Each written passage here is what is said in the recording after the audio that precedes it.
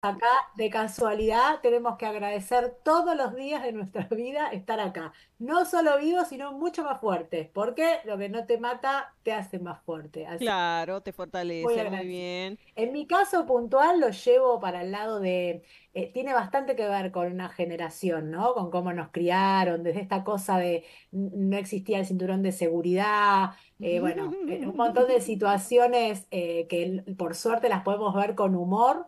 Eh, y eso mismo, llevado después cuando empiezo a hablar de mi maternidad y de mis hijos, llevado a cómo criamos ahora, que nos vamos al otro extremo, con un exceso de Exacto. sobreprotección que tampoco está muy bien.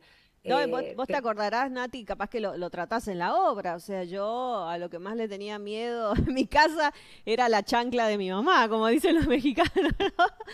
La bueno, chancla de mamá. sí, olvídate, que igual, igualmente es como, mm, incluso hasta en lo cotidiano, ¿viste? Vos decías, bueno, comer, de hecho siempre decimos que era mucho más sano, ¿viste? Que cocinaba la abuela, que cocinaba, pero Sí, eh, el pescado te venía con espinas.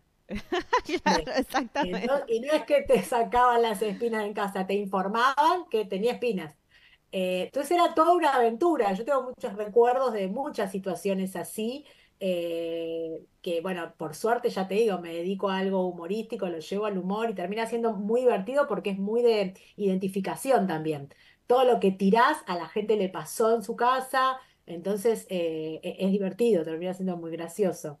Exacto, exacto. Son situaciones cotidianas que, todos hemos vivido. Y bueno, contanos cómo venís con la presentación de esta obra en diferentes puntos.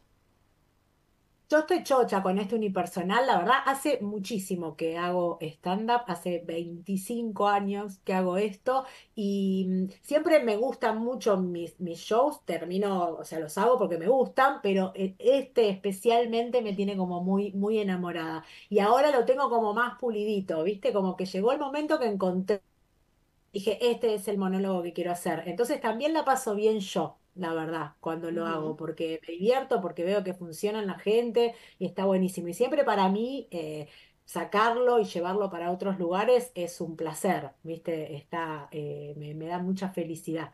Así que estoy muy contenta, estoy preparadísima para el Bien. sábado. ¿Cómo creas tus shows de stand-up? ¿Cómo, Es cómo muchísimo laburo, mucho laburo, pero la Ajá. verdad que mm, hace tantos años que lo hago que ya a veces ni, no es que me siento a escribirlo, sino que es algo que tengo la idea en la cabeza, sé de qué quiero hablar, eh, lo, lo armo de alguna manera y lo, le termino de dar forma con el público, porque la verdad que necesito la respuesta de la gente ahí para saber que, que está bien. Lo puedo hacer ahora canchereando un poco más porque al tener tantos años de hacer esto sé que, que tengo salidas, que no es que, que va a salir mal. Puedo hacerlo con tranquilidad. Pero la verdad que yo necesito mucho el termómetro del público. Hay gente que quizás necesita más probarlo, ¿viste? Tirarle el chiste a la mamá, al Claro. marido. Yo necesito la respuesta real. Si le tiro a mi vieja, se va a morir de risa antes de que termine el chiste porque... Y no me vieja, sí. Claro, no, no es muy objetivo. Eh, entonces yo necesito a la gente ahí. Eh, así, así es como lo- los armo. Es medio mi estilo también, pero bueno, ahora estoy más canchera, entonces no, no voy tan nerviosa con eso. Igual este show está ya recontraprobado, lo hice eh, todo el año pasado, lo sigo haciendo este año, así que voy, voy con seguridad. Muy bien. ¿Y, y por qué elegiste dedicarte a- al stand-up en vez de quizá otra, a otra rama del arte, no sé, teatro u otro estilo? Porque el stand- tiene el stand-up un poco de todo, ¿no?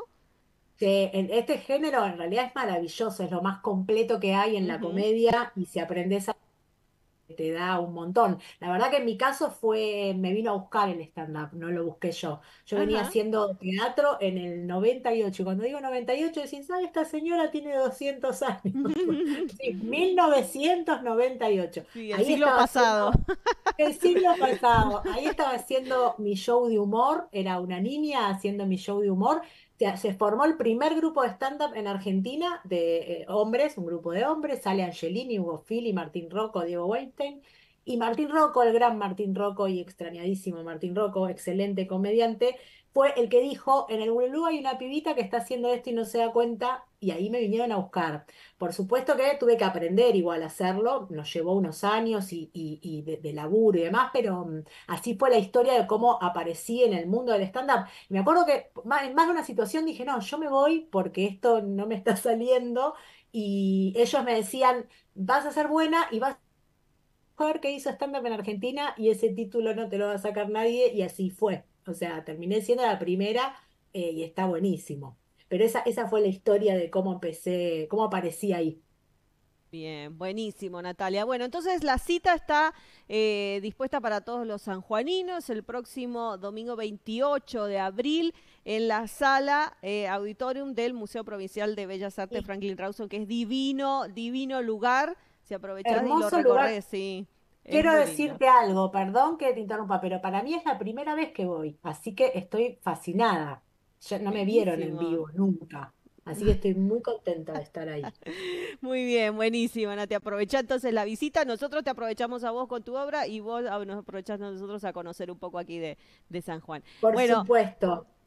Entonces la invitación está hecha, decíamos, el domingo 28 en el Museo eh, Provincial Franklin Rawson. Natalia Carulias con su show Estamos vivos de pedo. Y ahora, y vamos a Estamos seguir de pedo. sobreviviendo de pedo también, Natalia. Claro que sí, claro que sí. Bien, muchas gracias por la, por el Muchas contacto. gracias a ustedes, muchas, muchas gracias, besos. Bueno, nos vemos el domingo.